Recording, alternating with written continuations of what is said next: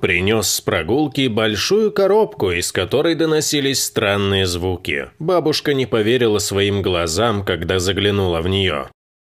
Девятилетний Никита вернулся с прогулки и стал громко звать бабушку. Когда старушка вышла в коридор, она увидела на полу большую коробку, из которой доносились странные звуки. На выходных Галина Николаевна всегда забирала к себе старшего внука Никиту. Мальчик очень любил гулять во дворе у бабушки, зимой особенно, когда можно было кататься на коньках на маленьком пруду. В субботу мальчик, как обычно, отправился гулять, но в этот раз прогулка обернулась неожиданностью. Галина Николаевна даже слегка напугалась, когда услышала громкий крик внука. Он вбежал и поставил на пол большую картонную коробку. Мальчик был взволнован и попросил бабушку открыть ее как можно скорее. Галина Николаевна послушала Никиту и приоткрыла коробку, из которой раздавались непривычные ее слуху звуки. Бабушка не могла сдержать удивление, когда увидела в коробке четырех маленьких котят. Они уже открыли глазки и слабо пищали, пытаясь выбраться из коробки. Женщина не могла поверить, что кто-то смог просто выставить таких крошек на мороз. Они дрожали от холода и переставляли замерзшие лапки.